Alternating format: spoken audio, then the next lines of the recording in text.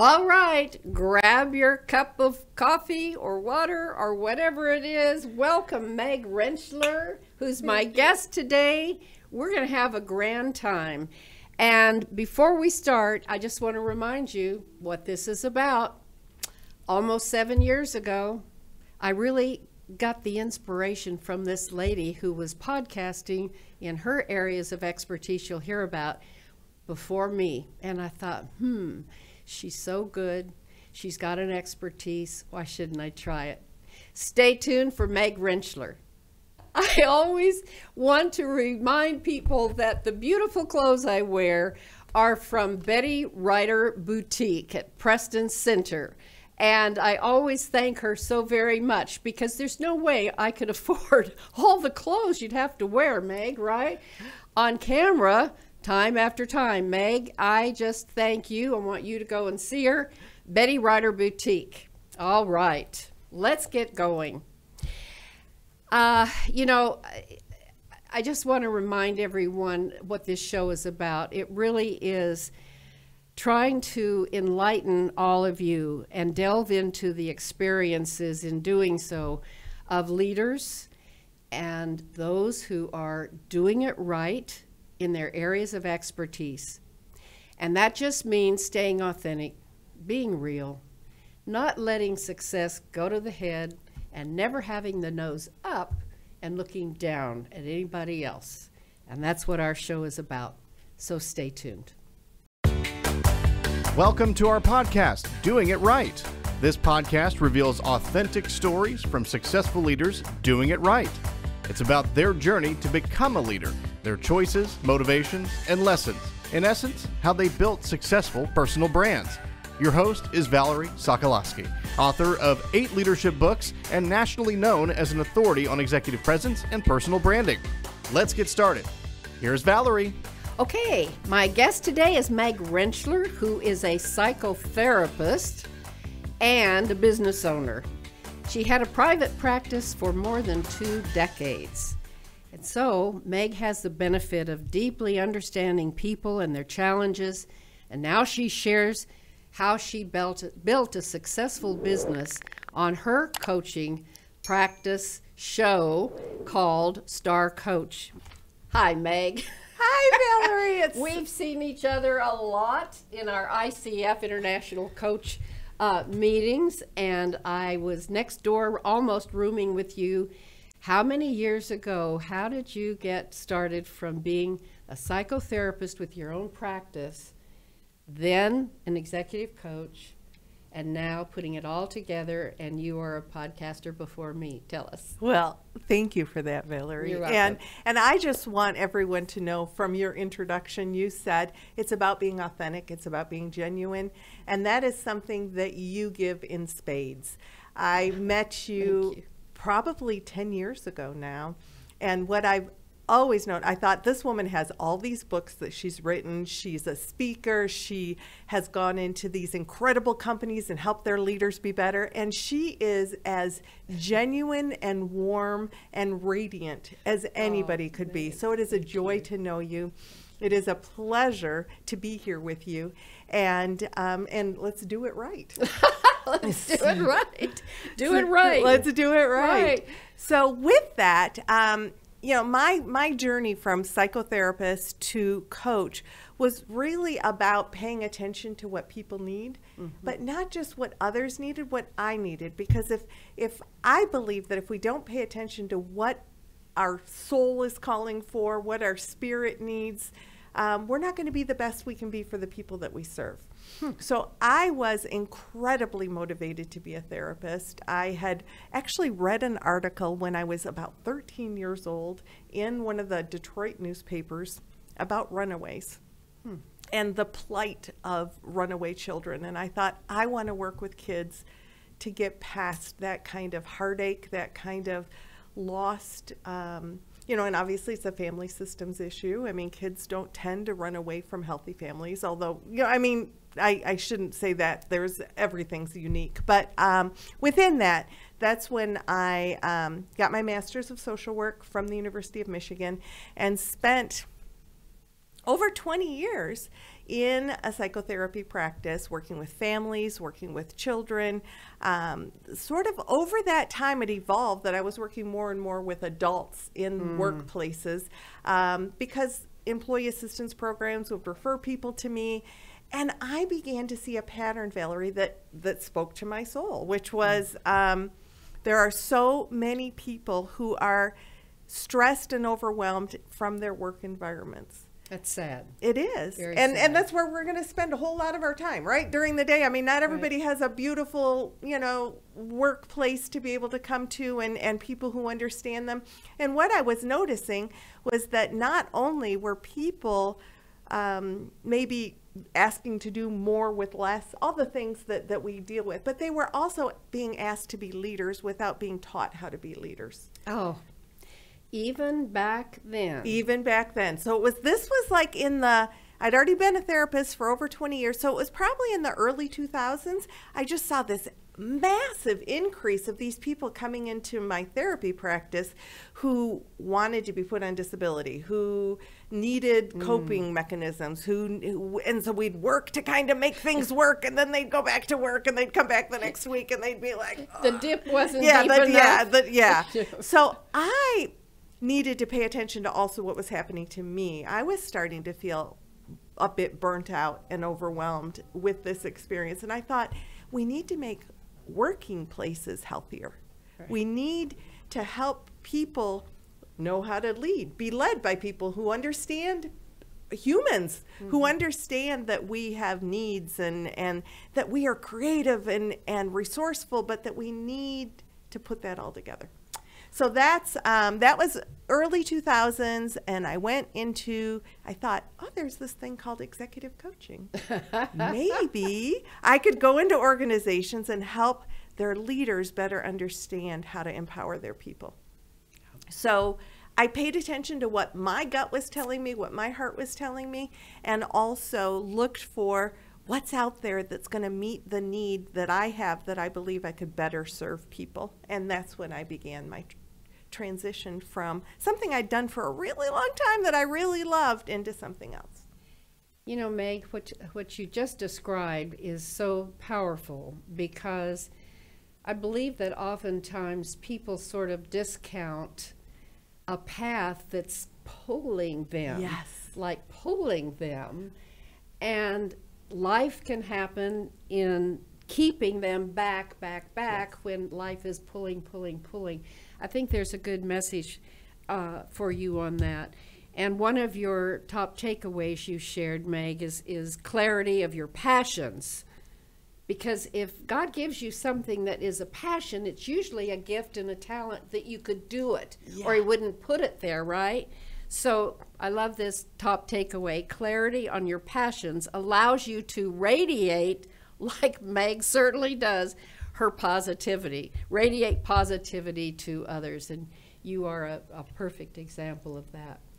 I want to hear a little bit more about um, in what you're doing now. Give us an example, Meg, of of maybe a therapeutic technique that you've adapted now into the coaching practice. Oh, what a great question. Thank you. So, yes, what a great question.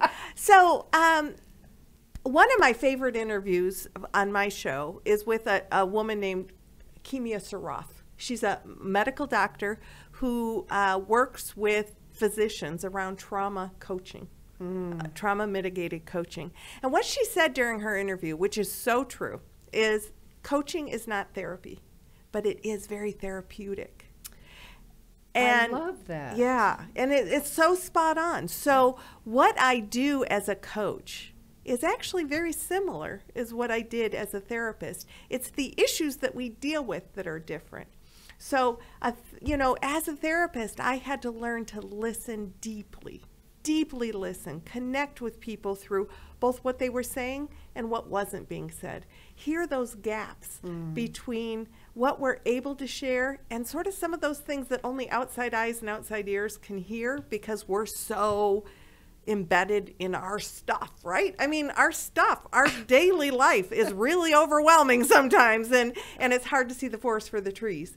But when you're talking with somebody who's not in the weeds the way that you are, you can say, I'm hearing this and I'm seeing this or I'm also hearing this. How do those go together for you? Mm-hmm. How does and often that awareness open, you know, begins to open up that aperture, open up understanding and and we can explore how do they go together maybe they don't go together and i've always thought that they do or maybe this belief i thought really served me really doesn't and and that is as as appropriate for coaching as it is for therapy well said and even greater thing to tag it to is that was a great question, I think, Meg, that a leader could say to a teammate.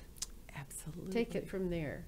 So that's one of the things, you know, life evolves, right? So I, I was a therapist and then I went into executive coaching with this passion. I'm going to help organizations be healthier. And then along the way was like invited to join faculty of, of two coaching programs and thought I, that wasn't really but if my mm-hmm. passion if my desire was to help organizations be healthier how much better would that be if if I was helping coaches be better and then the ripple effect of that Meg can do so much but Meg and Valerie can do so much and then Meg and all these other so now training over 100 coaches a year just imagine the ripple effect there mm. right so with that the other door that opened that I was not knowing was going to open was that by teaching what I teach to coaches, organizations started approaching me and saying, Can you teach our leaders mm. how to use these skills, not to become professional coaches, but to use coaching in their leadership to ask better questions, to go. listen more deeply? And I can tell you, I've had the honor of doing that with hundreds of leaders across the country.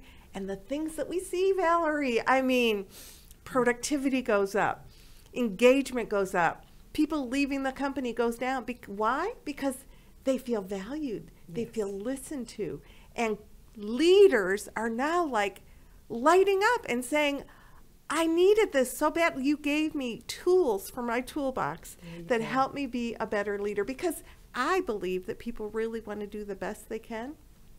They're just not always given the tools to do that. So, when we can help leaders say, hmm, well, what have you already tried? What might what what's the result you're looking for? Mm-hmm. Because what we tend to do when we don't have skills to pull the greatness from the other person, we jump into fix, right? So, so easy. So what so I say, mm-hmm. Valerie, do this. And Valerie says, Yeah, I've already tried that. Well, Valerie, do this. Well, and then we're doing a ping pong match. How much traction are we getting? Very little. Or you say, okay, Meg, I'll do that. And you go off to do it because uh, as your leader, I told you that that's what you need to do. Mm-hmm. But what's your buy in and what's your investment? And what's your, are you really, or are you just doing it because I told you to do it? You know, that's a great story, Meg, and it triggers an example where before I learned the wonderful skills now that have have uh, helped me so much in coaching leaders, I had an executive who would come to the sessions and he would then people flew in to be coached. That was great. yeah, that was a while that ago. was great. That was a while ago. Well you know i'm only 39 going i know but back in when you were 35 people did that and so we talked about just that and what he was going to go back and put into action and about a week later i called his office and his ea answered and I said something like, Well, I'm so glad to talk to you on the phone, and I understand that your boss is doing such and such and such. And what do you think about that? Over the phone, I could almost see because I could hear this blank. And she said, Oh, really? Oh, is that what's happening that I didn't see? Exactly. yeah. And that was mm-hmm. so sad, which says, also, that is unlike most people. That's the only person in my coaching career that fooled me. And guess what? He was fired about two months after that. Well, because nobody really benefits from That's that, exactly right? Right. And and no. really within that, it, it's really fooling himself in, in, in many ways. I mean, Absolutely. you know, the whole concept of meeting with somebody to grow and expand and, and stretch your muscles is so that you can feel more confident and engaged. Confidence. And and then you can help others do that as well. So, Meg, if uh, if someone's listening or watching, I'm sure they're wondering what might be some good questions that they could ask their boss regarding their own career or a challenge. You know, give us an idea of an actual challenge that an individual had and how you helped them Such a handle it. she's asking such great questions today. so, you know, uh, when we face things with curiosity and wonder rather than knowing, even about our own career. So it might be if if you're looking to move up, engaged and interested in what what was the path like for your boss? What what challenges did that person reach? How did they overcome those challenges? What do they see when they see you? And and it takes so this is what I believe to be I'm going a little bit off the path here, but follow me and, and we'll come back. Is that in my experience, both as a therapist, as a coach, and as a human being, because I'm as guilty of this as any, we spend so much energy putting our time into other people's demands. What do people want from us? What do mm-hmm. what do we need to do now? What's the next demand on our plate? That we don't necessarily spend time thinking about what do I want for myself? What are mm-hmm. the goals that I'm working toward? So if you are in a work situation, my first question to you would be how clear are you about where you want to go? Do you allow yourself to dream, to think about what does the next step look like? The clearer you are about your passion, the more informed you're going to be when you approach your boss about the potential path towards that. And that, you know, in some ways, it's got to be kind of a win win. How can you make it um, also something that that person wants to engage in? I would love to believe that every boss wants what's best for their people. I've just worked with too many people who are like, yeah, but that's my that's my superstar. I don't want them to kind of go to the next level. Oh, So then that right, involves kind of working with that person about like, No kidding. what's the real goal of leadership Right. here? Yeah. Self, selfish.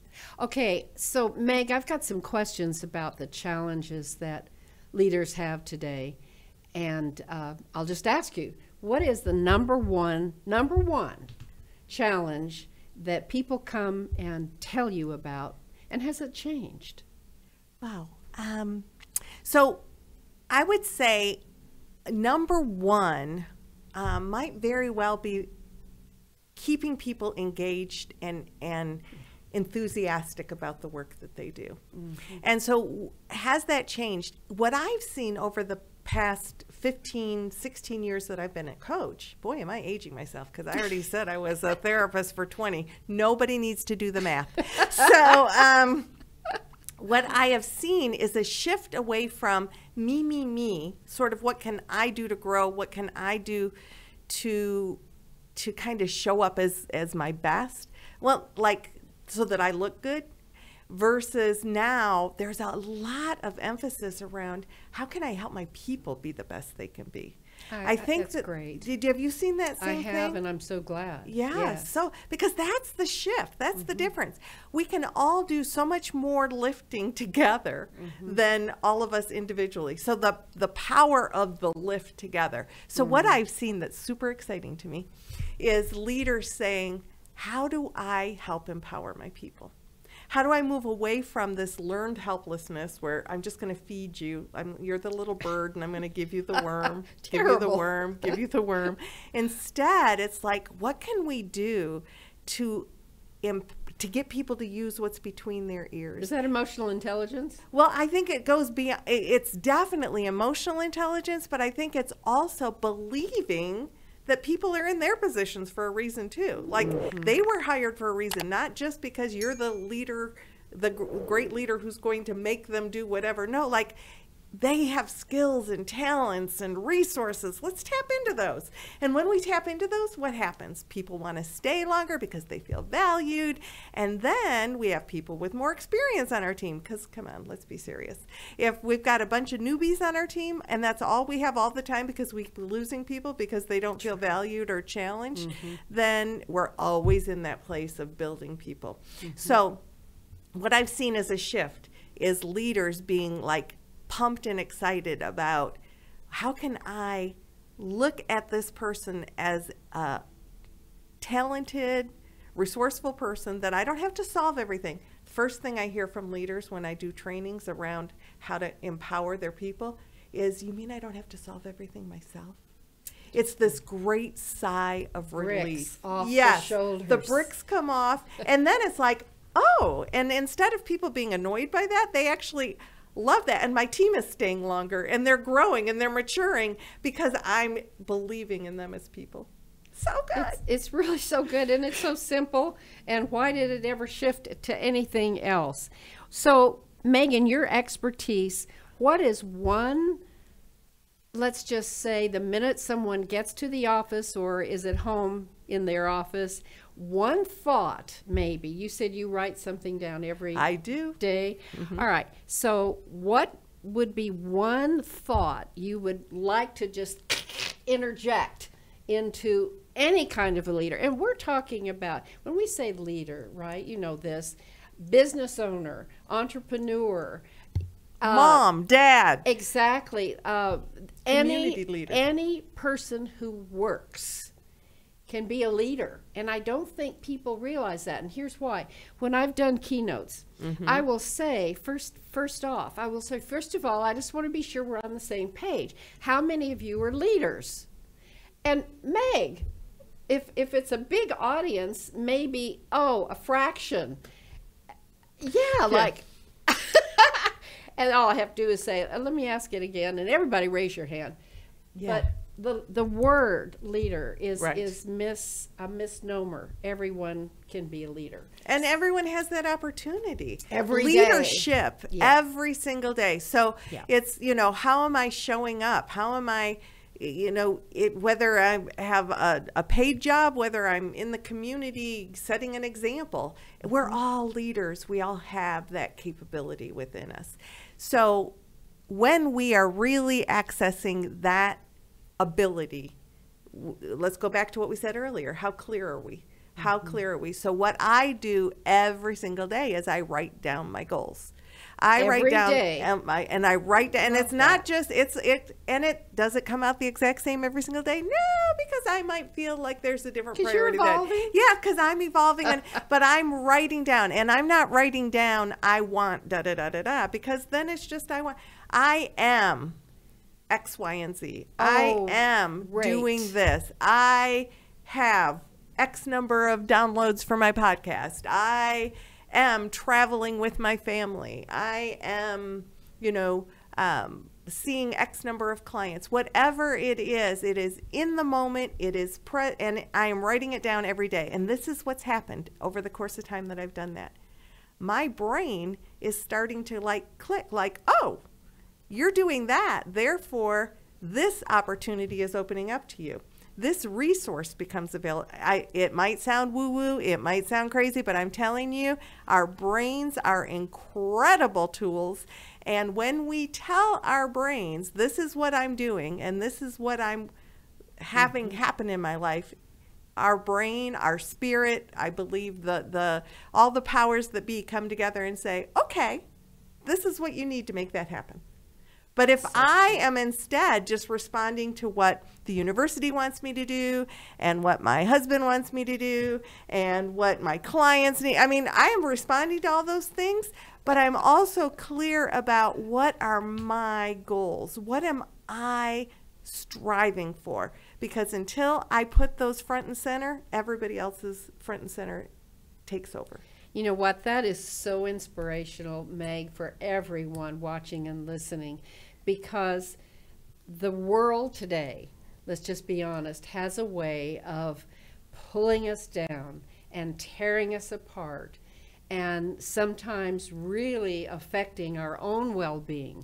I mean, I'm going to be honest, there are days that I just think, is this really making an impact? It's not like the podcast, everybody says something about the podcast, right? But boy, when you get an email that says Oh. "Thank you for this," doesn't it light Oh, up your day? Yes. So, listeners, watchers, Yeah. FYI, Let- let light up. Valerie's day. and Meg too, um, because we're doing it through our passion Right. that truly uh, we, we're doing it to impact others.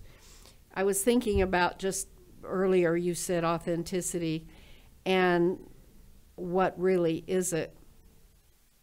And I don't know, it just came to me this morning that it's just being real in who you really are. Start with that. Mm-hmm. Who you who are you really? You know, are you putting on a mask for the day or totally vulnerable for the day? And what are you really about? You know, what are you really in your own heart putting out there intentionally? Because as I say, I think the world, for a lot of leaders that I'm coaching, is such a pressure pot. And we've got to hit that ROI. ROI. I don't know if you've coached a lot of Oh, salespeople, yeah. but Oh, yeah. mm, got to hit the ROI.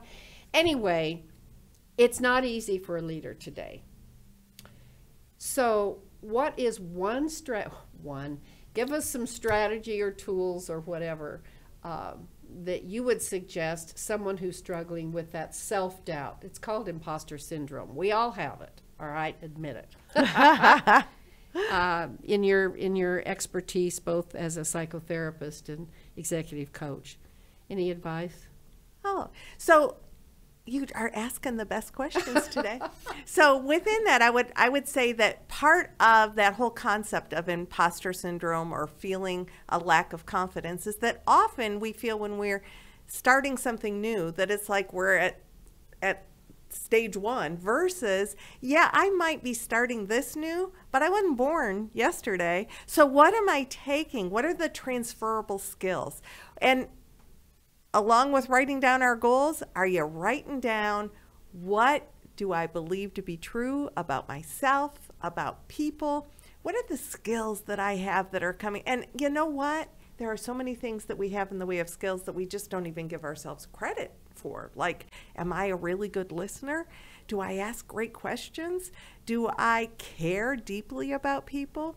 Am I, you know, am I really creative and and just had forgotten about that because we we have a tendency to cover our talents instead of letting them spring forth. So once again, clarity. We got to get clear about what are those strengths that I bring forward? What are the things that make me unique? And own those. Very truthfully, I'll tell when I first became an executive coach, so this was back in like the early 2000s, I put a cover over the fact that I had been a therapist for over 20 years. I thought, who's going to Oh. want an executive coach who was a therapist? Oh, they might That- get too deep. Woo! it might be, or you know, every everybody want. I was making all sorts of assumptions. Watch your assumptions. Um, you know, everybody's going to want somebody who was in a in leadership position in an organization. Well, I had been in a leadership position in an organization, but still, I was a therapist. So, long story short, it took a little bit for me to like say, oh. It's that differentiator, it's that strength that I have mm-hmm. that actually is what people are drawn to, I don't need to be covering it up. It's kind of silly to put it under a bushel basket. Let's mm-hmm. let the light shine. And so, for anybody who's wondering, am I really good in this role or do I deserve to be here or do Yeah, you do. And own what makes you unique and be intentional about it to Valerie's point. I'm so glad you brought that up. Um, I will just put a plug in. A lot of that is in the work of personal branding. and also, you said it well. Said another way, people don't realize those skills and their talents because they live in their own skin. So sometimes it takes uh, an outside perspective, and you are so good at that. How many times, Valerie, have you said something to somebody that you think is just so common sense and it has shifted their world? They're like, oh, I never thought about it that way. Or, oh my gosh, that is coming from your your talents and your your skill just is it's like breathing to you. And so we tend to minimize what comes easy. But you know what, people? That's what people need from you is what what's like breathing for you. So take that to that's super good. Take that to listening.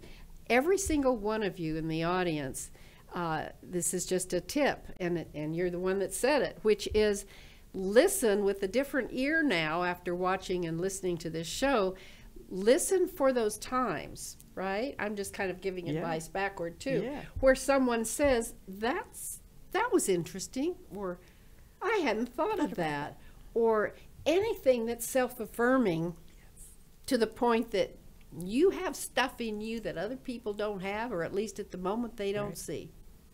And, of course- write it down And because you'll down. forget. You'll think, Yes, what was true. that thing that somebody said to me? So Oh, keep an yes. ongoing notes in your phone or something because when you write it down, you will. When you're at that place of what makes me special, you'll have it. and write them down at night. I keep a note. I mean, seriously, think about this. You would know this. What is it about at night? One more point, because I think this is so interesting to ask a psychotherapist. At night, when we go to sleep, what is it about our brain that comes up with sometimes a really good idea that we couldn't have thought out? Well, I think, and especially right before we go to bed is a great time to kind of plant those seeds for what do I want to think about? How do I want to? What do I? What What's an issue that I'm trying to solve? Our brain, when it slows down and it doesn't have all those distractions, will begin to solve things for us. Our brain is amazing. So keep a pad by your bed because you might very well wake up with an aha. My ahas come in the shower. In the shower. Mm-hmm. A lot of people say that. What's mm-hmm. that about? Well, you're just relaxed. You're kind of doing a routine task, and maybe kind of thinking about things in the in the back end. And all of a sudden, these. I don't know how many of you are familiar with Jack Canfield, the author of uh, Chicken Soup for the Soul series. He keeps a whiteboard in his shower. and now I've never been in his shower. I don't know, but but he has written about the fact that he keeps a whiteboard in his shower because that's where his ideas come out, and he captures them. so, audience, where do your ideas come out? Where do your ideas come out? Really? Yeah. All right, you can ask that question in the comments. And listen, we as podcasters watch and listen and and read every single comment. So comment, ask questions. We we're real. We'll get back to you. People say, "Will you really get back to everybody?" Absolutely. Absolutely. Absolutely. Every post, every question, every reply, you've done it and I've answered you. Mm-hmm. Why would we not? It's not authentic if you don't. Meg, this has been so fun. Valerie, you're one of my favorite people. Thank you for letting me spend time with you today. Absolutely. Well, you can tell she has a little positivity going on for her. I hope you've enjoyed this program today with my special guest. And listen up. Hit the red button. That's the only subscribe button, I mean. That's the only way Meg and I know that we're growing an audience. And I say that because I was listening to lots of podcasts, Meg, before I were one. and I never hit the subscribe button. I just kept listening. Well, then how does the person who puts the effort into it know that it's making any difference? Well, and if you ever put something special out there that isn't in your normal feed, they're going to miss it because if they haven't subscribed, but they'll There get everything that you put out if they subscribe to There you. you go. And in the banner, you see how you can subscribe to Star Coach, which is her podcast, and don't miss it. It's always wonderful stories from the coaching community, and they know a heck of a lot about life, don't They they? do. And it's about leadership, right? Yes. So, um, so thank you. Thank you so much for It's that. It's been a joy. Thank you. Now stay tuned because I always have a Valerieism. And today it is this sometimes leaders have to zig when others zag. I just love that. Let me say it again. so me. Sometimes leaders have to zig when others zag. And I'll tell you why I thought that was a good one for today. Meg has talked about in her career how she has transitioned. There's another word for it transition from one thing to another. So don't you dare get stuck in something you feel like you're stuck in. You can zig when you need to zig and zag when you need to zag. Just don't stay in the rut of where you are. And that's my Valerieism today. And until next time, stay real, stay authentic, and people will come to you. You will attract them because you are real. Right, Meg? Absolutely. That's what your magnetic is about. Cheers. Cheers. Until next time. Bye for now. Thanks for listening. To receive Valerie's voice, free monthly leadership tips, and to learn more about her leadership programs and coaching, visit her website, valerieandcompany.com. Next week, we'll be here again to inspire, engage, and equip you with teachable points of view from successful leaders who have been doing it right. Until then, lead authentically